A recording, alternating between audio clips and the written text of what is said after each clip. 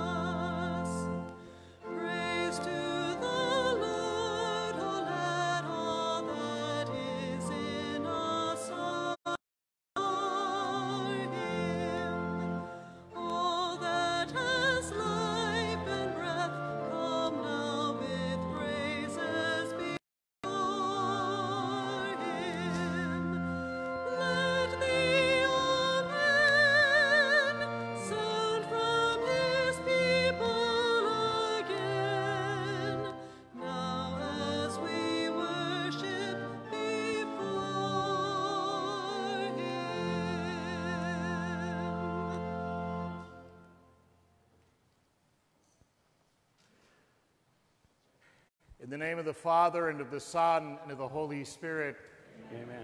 the Lord be with you. With your spirit. Good afternoon. Throughout scriptures, and not just the gospel, we are called to be a forgiving people.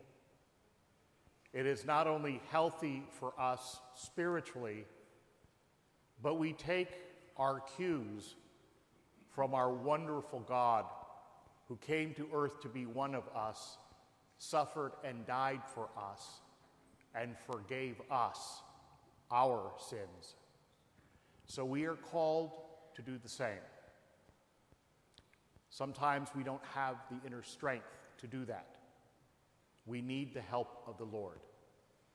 So, for the times perhaps that we have not found the strength on our own to forgive, we ask His strength to be able to move us to be able to forgive. Lord Jesus, compassionate to the suffering, Lord have mercy. Lord have mercy. Christ Jesus, patient with sinners, Christ have mercy. Christ have mercy. Lord Jesus, boundless in love, Lord have mercy.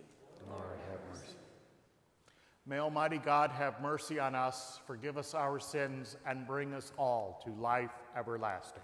Amen.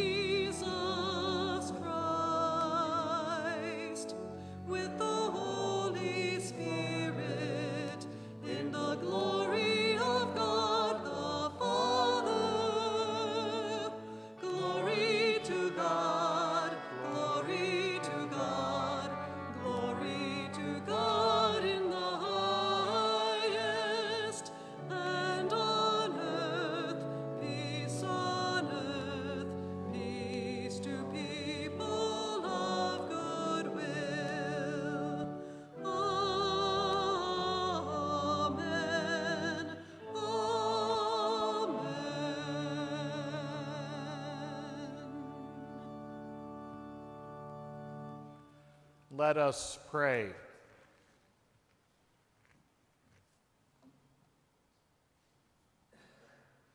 Look upon us, O God, creator and ruler of all things, and that we may feel the working of your mercy, and grant that we may serve you with all our heart. Through our Lord Jesus Christ, your Son, who lives and reigns with you in the unity of the Holy Spirit, one God, forever and ever.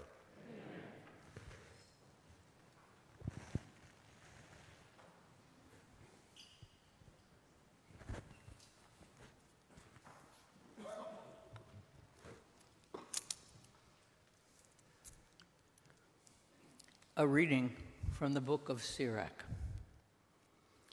Wrath and anger are hateful things, yet the sinner hugs them tight. The vengeful will suffer the Lord's vengeance, for he remembers their sins in detail. Forgive your brother's in- injustice. Then, when you pray, your own sins will be forgiven. Could anyone nourish anger against another and expect healing from the Lord?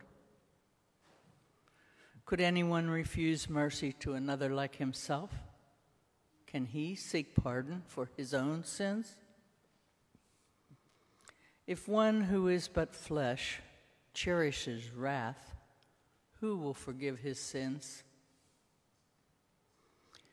Remember your last days Set enmity aside.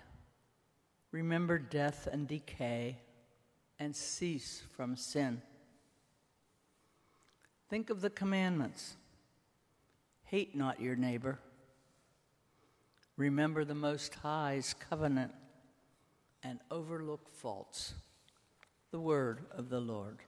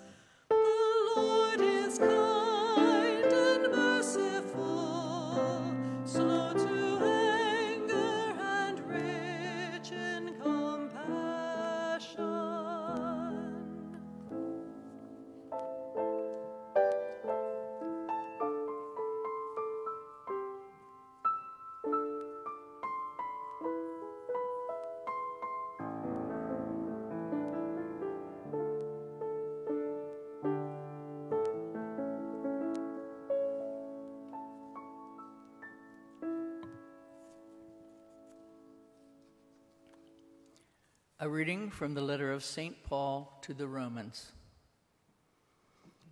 Brothers and sisters, none of us lives for oneself, and no one dies for oneself. For if we live, we live for the Lord. And if we die, we die for the Lord. So then, whether we live or die, we are the Lord's. For this is why Christ died and came to life, that he might be Lord of both the dead and the living. The word of the Lord.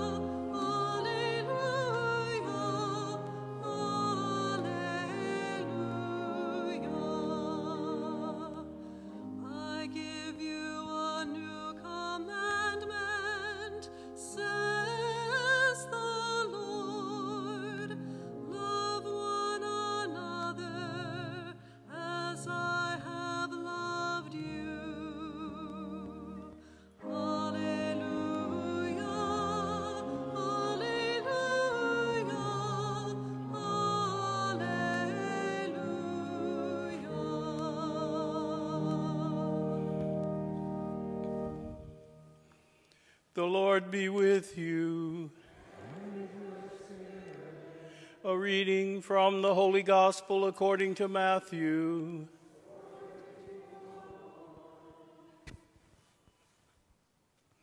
Peter approached Jesus and asked him, Lord, if my brother sins against me, how often must I forgive? As many as seven times? Jesus answered, I say to you, not seven times, but 77 times. That is why the kingdom of heaven may be likened to a king who decided to settle accounts with his servants. When he began the accounting, a debtor was brought before him who owed him a huge amount. Since he had no way of paying it back, his master ordered him to be sold, along with his wife, his children, and all his property, in payment of the debt. At that, the servant fell down, did him homage, and said, Be patient with me, and I will pay you back in full. Moved with compassion, the master of that servant let him go and forgave him the loan.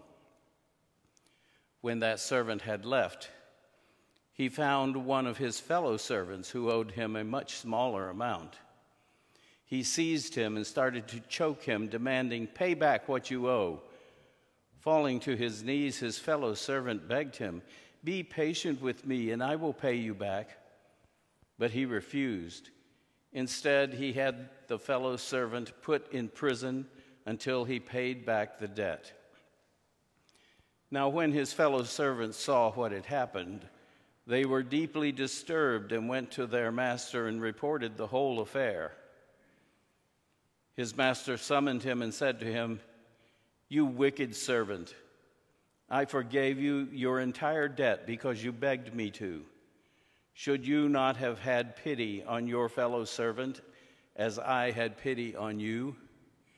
Then, in anger, his master handed him over to the torturers until he should pay back the whole debt. So will my heavenly Father do to you, unless each of you forgives your brother from your heart. The Gospel of the Lord. praise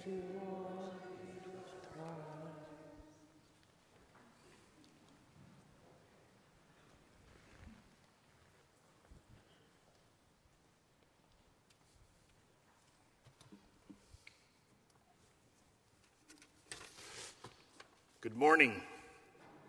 Ah, Just seeing if you're awake. It's morning somewhere, that's true. Forgiveness is a very powerful theme that not only runs through the gospel, it runs throughout Scripture. And of course, with the gospel, it's like I won the Irish sweepstakes or I won the Florida lottery, but you still owe me 20 bucks. It does seem kind of laughable or hypocritical. But there are hurts committed against us that deeply wound.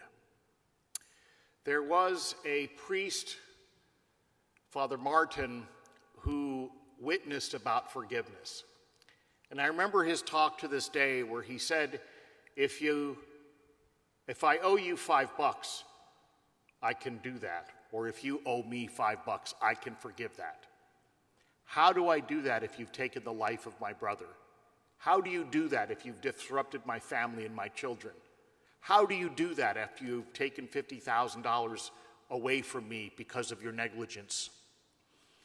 And he said, That's why God gave you knees. So you kneel down and you beg for the strength that God can forgive, that God can give you the power to forgive, and He can. Is it easy?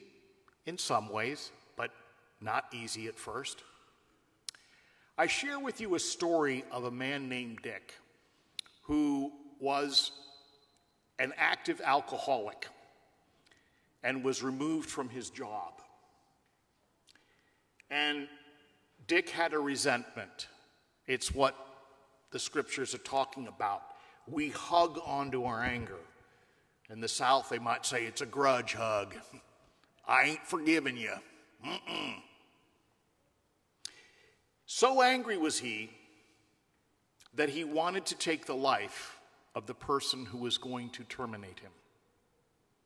He really held a grudge to the point of checking out where their house was, how they traveled to work, where the police were at the time. I'm talking serious here. Before he did that, he talked to his sponsor in the 12 step movement. And his sponsor said, You might be right. He may be a so and so and a so and so. But why don't you pray for that so and so?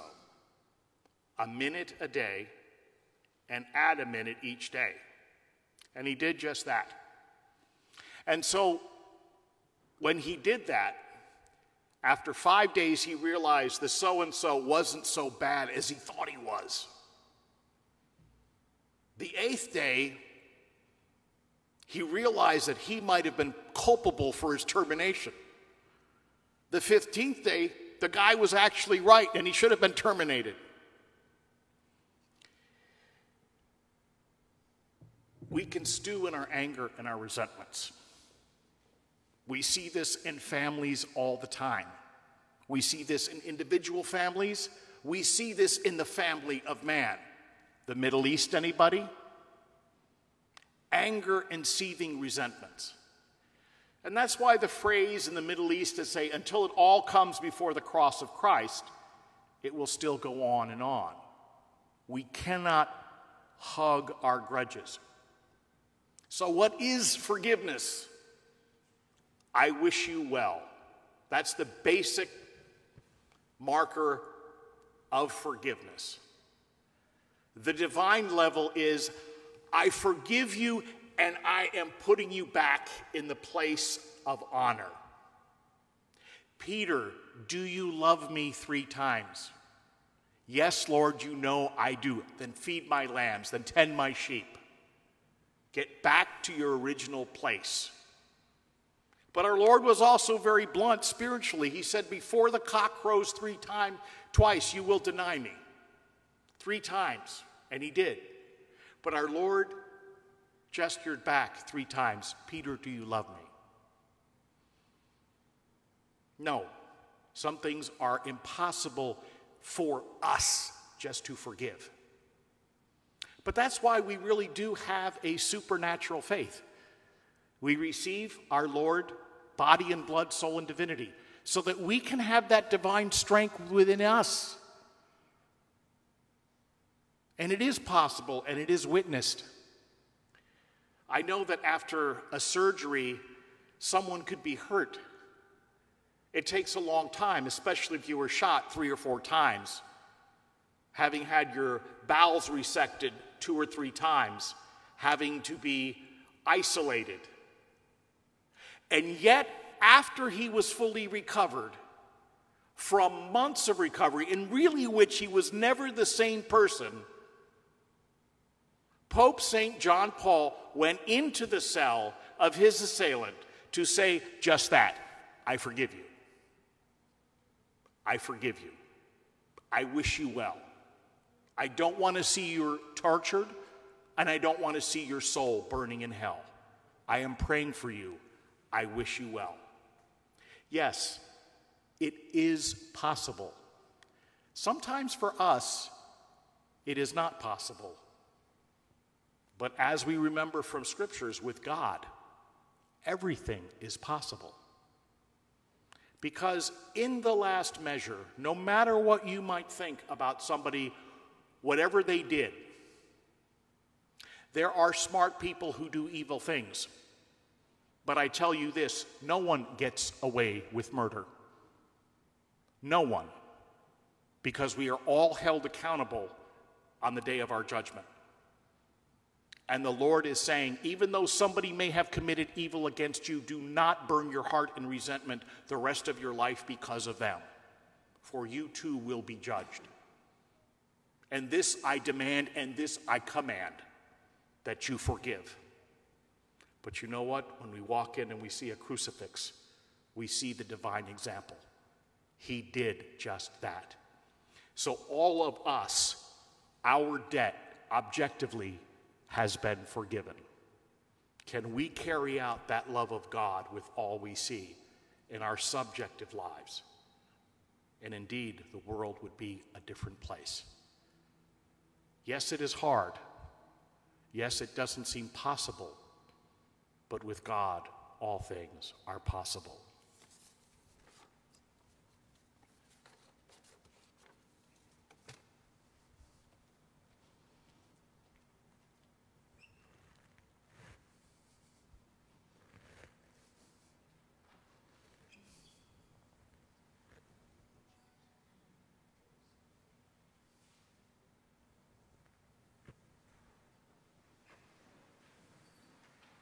We stand now and profess our faith.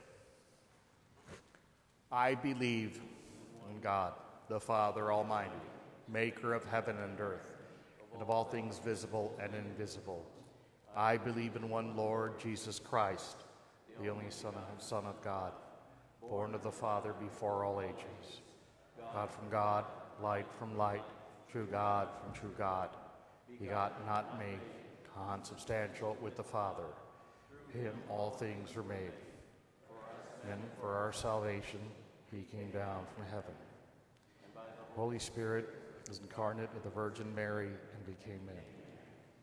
For our sake, he was crucified under Pontius Pilate. He suffered death and was buried, and rose again on the third day in accordance with the, the Scriptures. He ascended into heaven and is seated at the right hand of the Father. He will come again in glory to judge living and the dead and his kingdom will have no end.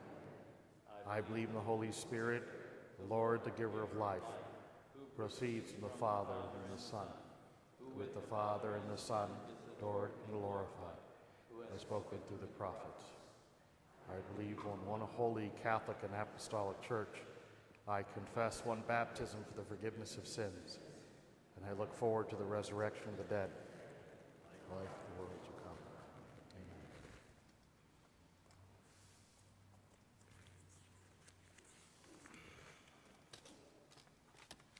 Let us offer our prayers in confidence, like little children who know that the Lord hears and answers them.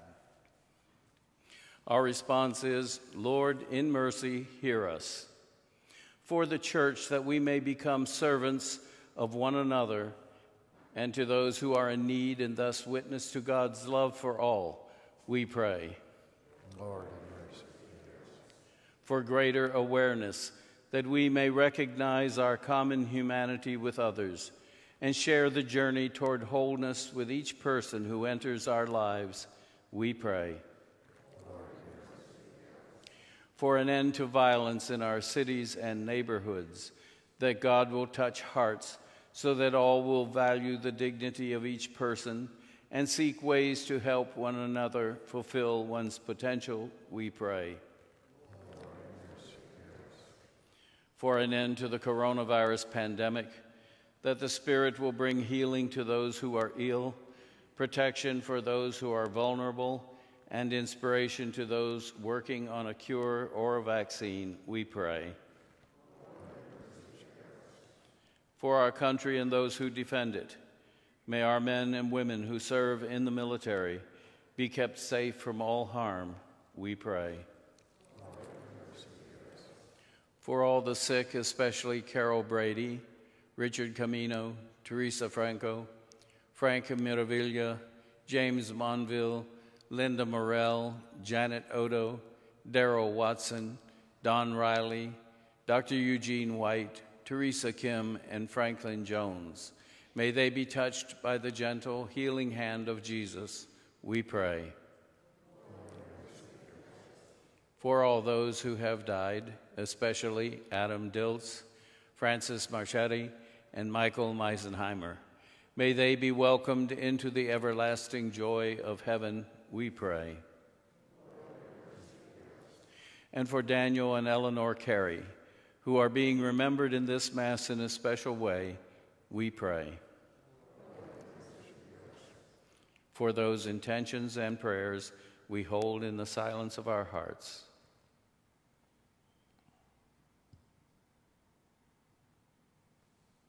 We pray. God of mercy, you will judge us in the last days. Hear our, the prayers of our hearts and grant them through Christ our Lord. Amen.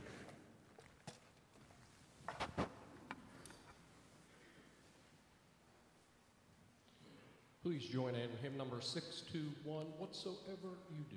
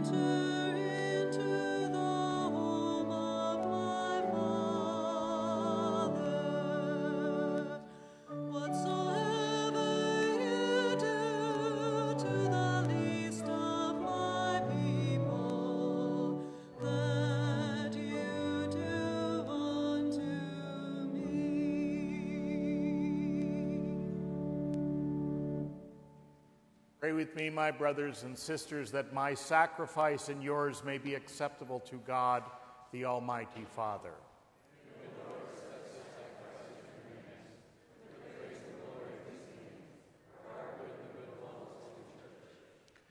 Look with favor on our supplications, O Lord, and in your kindness accept these your servant offerings that each has offered to the honor of your name may serve the salvation of all through Christ our Lord.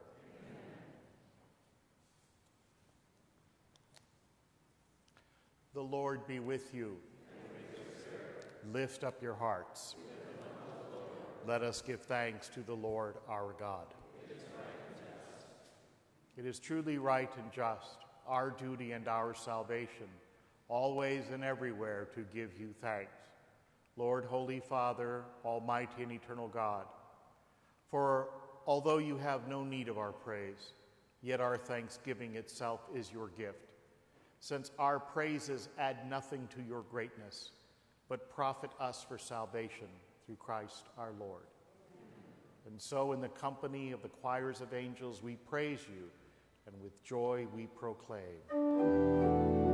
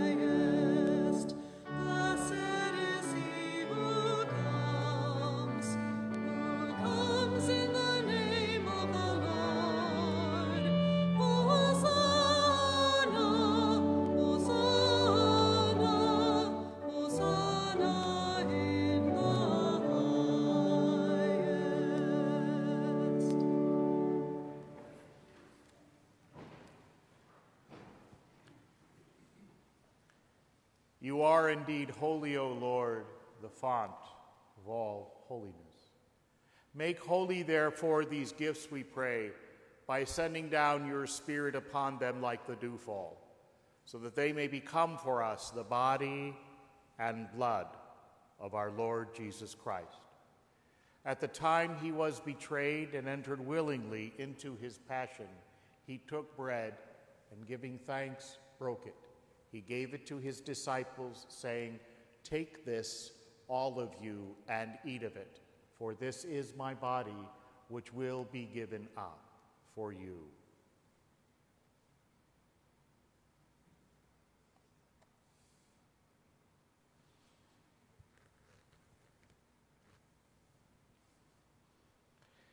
In a similar way, when supper was ended, he took the chalice and once more giving thanks, he gave it to his disciples, saying, Take this, all of you, and drink from it. For this is the chalice of my blood, the blood of the new and eternal covenant, which will be poured out for you and for many for the forgiveness of sins. Do this in memory of me.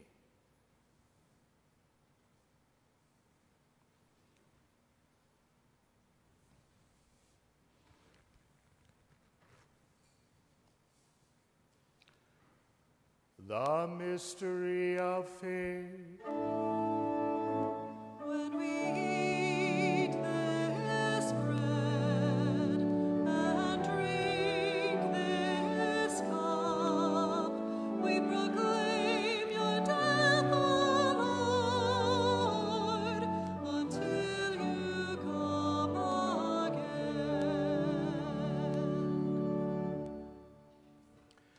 Therefore, as we celebrate the memorial of his death and resurrection, we offer you, Lord, the bread of life and the chalice of salvation, giving thanks that you have held us worthy to be in your presence and minister to you.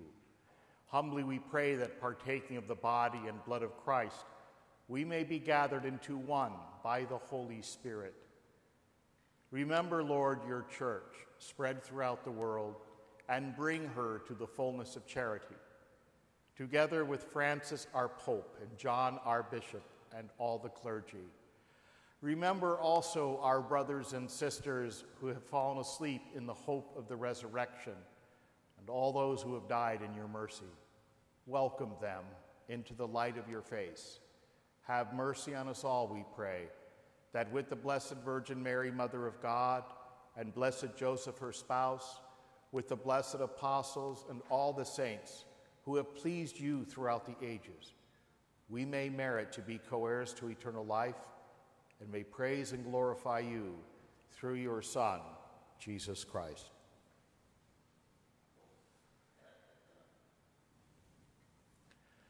Through him and with him and in him, O God Almighty Father, in the unity of the Holy Spirit, all glory and honor is yours forever and ever.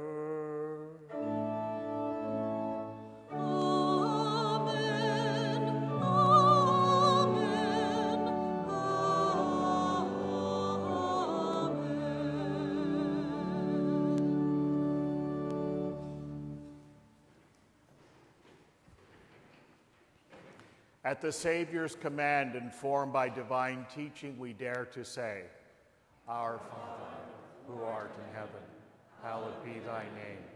Thy kingdom come, thy will be done, on earth as it is in heaven. Give us this day our daily bread, and forgive us our trespasses, as we forgive those who trespass against us. And lead us not into temptation, but deliver us from evil. Deliver us, Lord, we pray, from every evil. Graciously grant peace in our days, that by the help of your mercy we may always be free from sin and safe from all distress, as we await the blessed hope and the coming of our Savior, Jesus Christ. For the kingdom, the power, and the glory are yours, now and forever.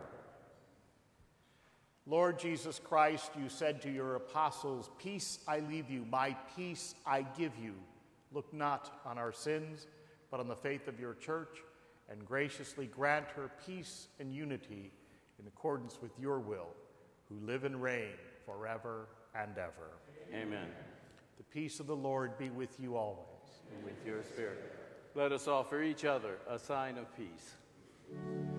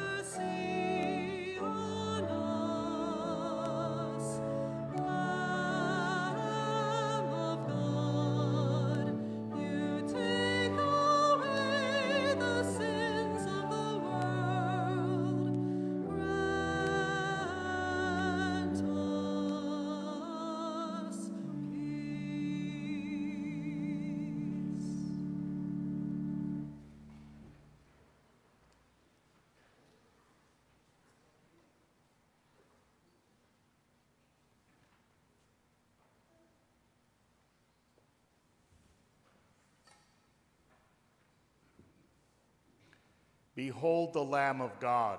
Behold him who takes away the sins of the world. Blessed are those called to the supper of the Lamb.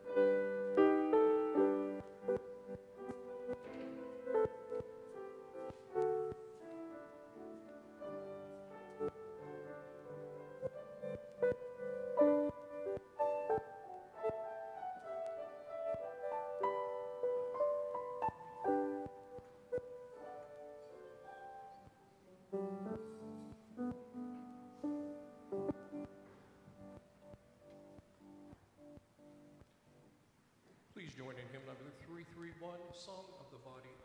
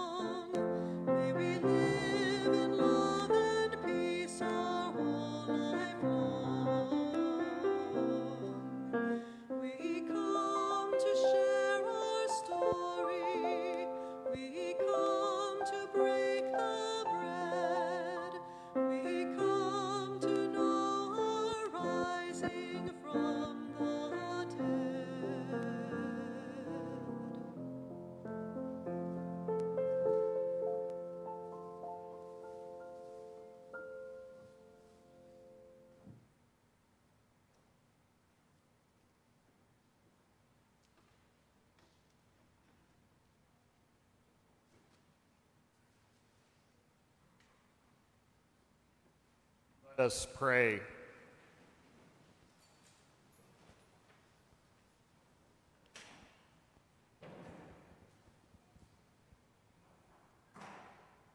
May the working of this heavenly gift, O Lord, we pray, take possessions of our minds and bodies, so that its effects, and not our own desires, may always prevail in us, through Christ our Lord. Amen. Just a few announcements this weekend. Um, please mark your calendar. We will be offering flu shots next Sunday, September 20th, in the parish center. See the parish bulletin and de- uh, de- bulletin for more details. Also, the Breaking Bread books are available for your personal use. Do not leave them in the church or return to the box. Please take them home with you and bring them back to you for your personal use. Also, there's a couple of things that are on the way. Um, our sound system that we were working, or the audiovisual system, has been approved and it will be coming later.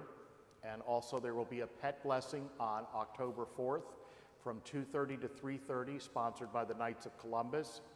And also, um, there will be more activities. One of them will be the use of the faith formation system called Formed. We will be explaining that to you about how to sign up, how to log in, and how it will be used. It will be a gift to this parish, and it is an excellent program. And so we will encourage all parishioners to sign up, and it's very easily accessible. For the remainder of the announcements, please uh, look online for our bulletin with the rest of the details. My brothers and sisters, the Lord be with you. And with your spirit. And may Almighty God bless you, Father, Son, and Holy Spirit. Amen. Go in peace, glorifying the Lord by your lives. Thanks be to God. Make it a great week. Please join in number 540, Praise God, from whom all blessings flow.